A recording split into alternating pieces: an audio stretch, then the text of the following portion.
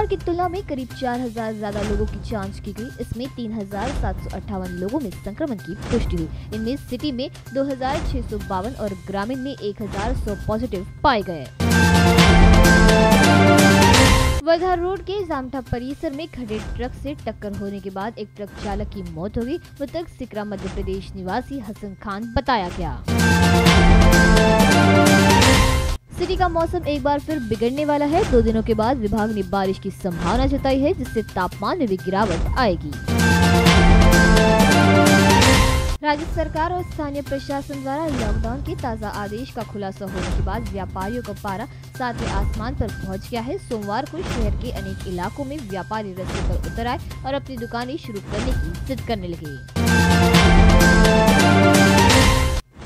व्यापारियों की शिव संस्था chamber of association of Maharashtra industry and trade ने राज्य सरकार को बाज़ार, दुकान मॉल आदि बंद रखने के अपने निर्णय पर दोबारा विचार करने के लिए बहत्तर घंटों का अल्टीमेटम दिया।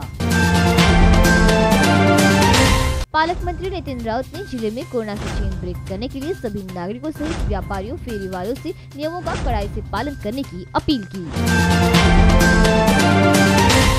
जिलाधिकारी रविंद्र ठाकरे ने सभी सरकारी कार्यालयों में 30 अप्रैल तक नागरिकों के प्रवेश पर बंदी लगा दी। इस संदर्भ में उन्होंने आदेश जारी कर दिया है।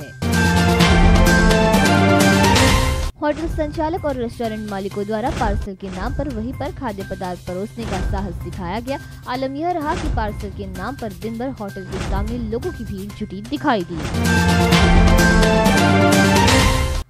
मंगलवार को एनडीएस दस्ते की ओर से विशेष रूप से किराना ओली और अनाज बाज़ार में दस्तक दी गई। इस तरह अलग अलग जोन अंतर्गत कुल नौ प्रतिष्ठानों पर कार्रवाई की गई।